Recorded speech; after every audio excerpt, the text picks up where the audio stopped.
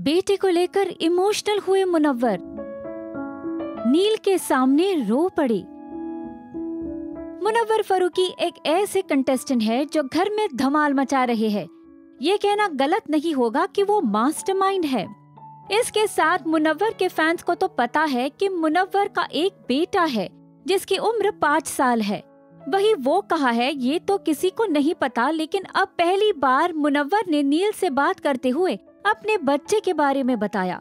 आपको बता दें, मुनव्वर की शादी काफ़ी कम उम्र में हुई थी और कुछ सालों पहले वो अपने पत्नी से अलग हुए। नील से बात करते हुए मुनव्वर ने कहा कि मेरा एक बेटा है जो मुझसे दूर रहता था, लेकिन छह महीने पहले वो मेरे पास आया और अब मेरे साथ ही रह रहा है। बेटे के पास आने के बाद मुझे पता चला कि मैं लाइफ में क्या मिस कर रहा हूँ।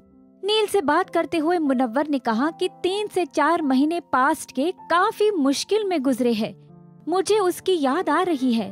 वेल well, मुनव्वर के आँसू देख नो डाउट आप भी हो जाएँगे इमोशनल। आपको कैसा लग रहा है मुनव्वर का गेम बताइए हमें कमेंट बॉक्स में। And also do follow like and subscribe to Tele Masala on Facebook Instagram and YouTube